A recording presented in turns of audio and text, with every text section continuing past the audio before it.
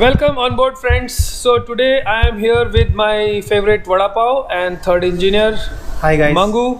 And uh, plan is to inspect the main mast For doing that, first we need to inform the duty officer. Here is the duty officer, second officer. We have informed him about our job. All he will do is he will do some isolations in which he will put both the radars on standby and whistle. He will put a warning that not to blow any whistles because people are on the main mast We have to go through the entire working aloft checklist, which we will be going through now. Requires us to wear full PPE, safety harness, a risk assessment in place.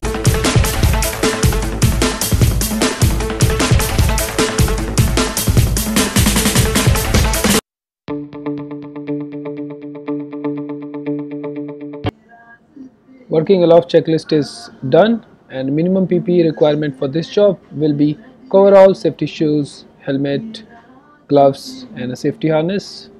So here we can see this is the hook for the safety harness and this safety harness has a fall arrestor in it so if somebody falls it will tear off and it will absorb all the jerk preventing the person from injury. Here we can see Vada Pav is safely climbing on the mast he is hooking his harness at every point climbing few steps then hooking it on at a higher point. And same way he will go all the way up.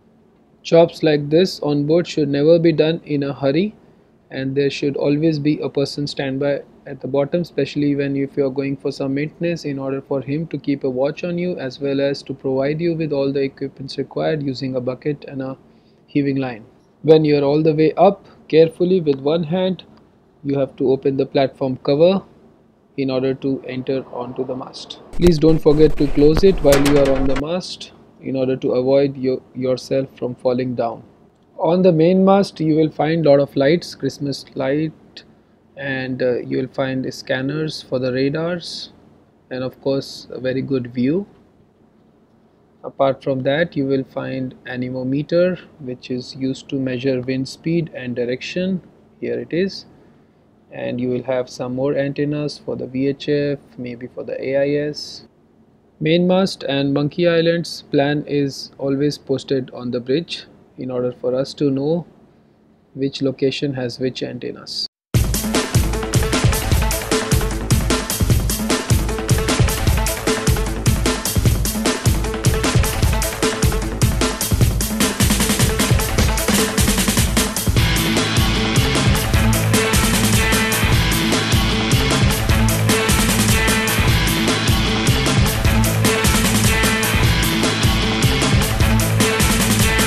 now we have reached the foremast where you'll have only the forward whistle and a few lights